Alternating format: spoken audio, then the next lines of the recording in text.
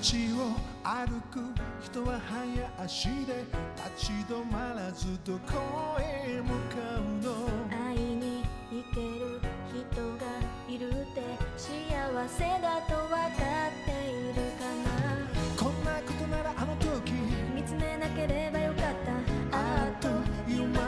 好きになって失った。大事なものができると。失うことが怖くて。本当の自分じゃなく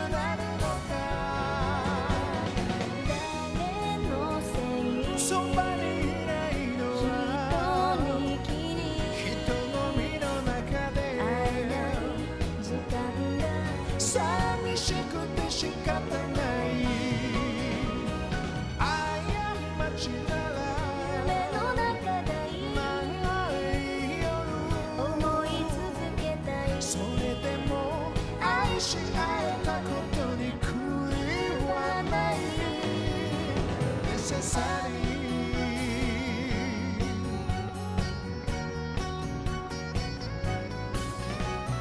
どこへ行く？風のその中を